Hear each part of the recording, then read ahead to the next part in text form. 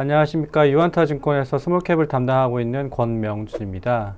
어, 이번에는 금일 발간한 로보티즈에 대해서 설명을 드리도록 하겠습니다. 네, 로보티즈에 대한 설명이 앞서 로봇 산업이 빠르게 성장할 것이다 라고 어, 생각을 하는데요. 어, 이렇게 판단하고 있는 이유는 다음과 같습니다. 어, 기술적으로 인공지능과 어, 사물 인터넷이 굉장히 빠르게 발달을 하고 있습니다. 어, 반도체의 기능도 올라가고 어, 관련돼서 연결할 수 있는 어, 요소들이 빠르게 성장함에 따라서 로봇 산업 역시 성장할 수 있는 기반이 마련이 되어 있습니다. 어, 두 번째로는 사회 구조인데요. 어, 인구 감소, 고령화, 최저임금 상승이 있습니다.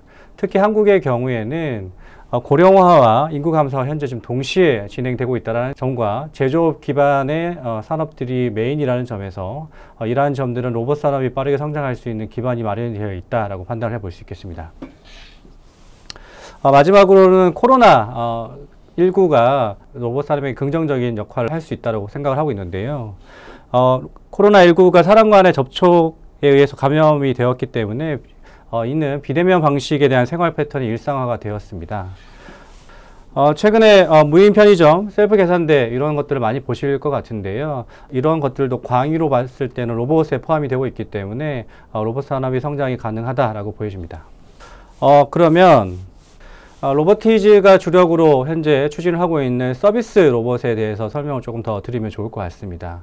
어, 국내에서 서비스 로봇이 빠르게 성장할 것으로 예상을 하고 있는데요. 어, 이유는 미국을 비롯해서 해외에서 이미 어, 활발한 도입이 이루어지고 있다는 점입니다.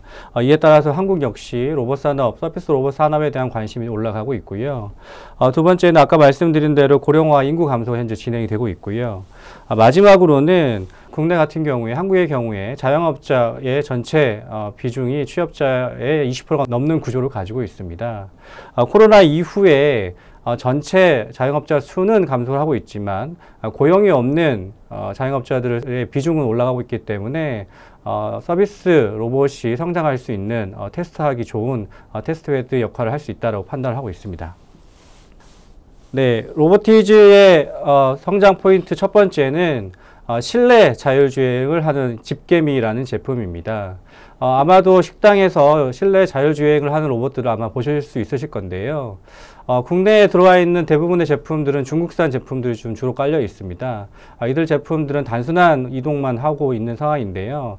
로보티즈의 집게미는 어, 층간 이동이 가능하다는 장점이 있습니다.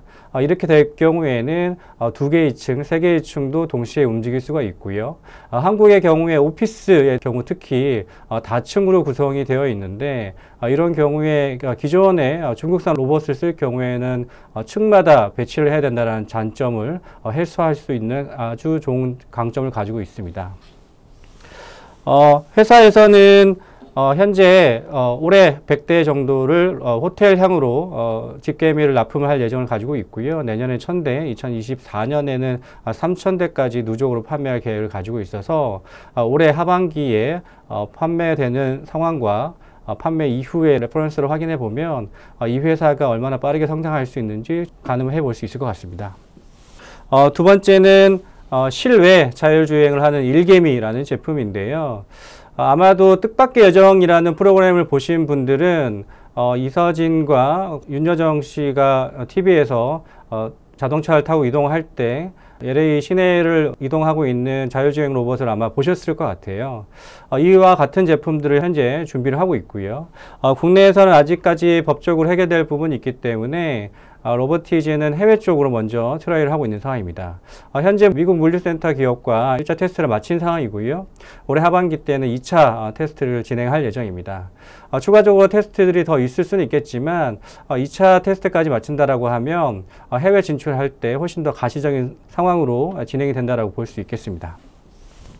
어, 국내에서는 뭐 법적으로 아직 좀 뭐 풀려가야 될 문제가 있겠지만 어, 국내에서도 실외 자율주행 로봇에 대한 관심도가 높기 때문에 어, 관련된 법들이 해소가 될 때 로보티즈는 주목을 받을 수 있겠다라고 판단을 있겠습니다. 네, 마지막으로 그 로보티즈의 지분을 8% 이상 가지고 있는 회사가 있습니다. LG전자인데요. 어, LG전자는 최근 5년간 로봇에 대한 굉장히 많은 투자를 하고 있습니다. 어, 대표적인 제품으로는 어, 클로이라는 제품도 가지고 있고요. 어, 운송 로봇에 기반했던 제품들이 대부분이기 때문에 아, 로보티즈의 앞서 말씀드린 집개미, 예, 일개미와 어, 제품이 어, 서로 시너지 효과를 낼 수 있는 어, 구조를 가지고 있습니다. 아직까지 구체적이진 않지만 LG전자가 로봇에 대한 관심을 표명하면 할수록 어, 로봇에 대한 투자를 과감하게 하면 할수록 어, 로보티즈와의 시너지 효과도 기대해 볼 수 있겠다 이렇게 판단하고 있습니다. 어, 실적은 아직 많은 가시성을 보이고 있지는 않지만 앞서 말씀드린 대로 호텔향으로 집게미 로봇, 실내 자율주행 로봇이 시작이 되고 있기 때문에 어, 성장성에 기대를 해볼 수 있겠다라고 어, 말씀드리고 어, 오늘 마치도록 하겠습니다. 고맙습니다.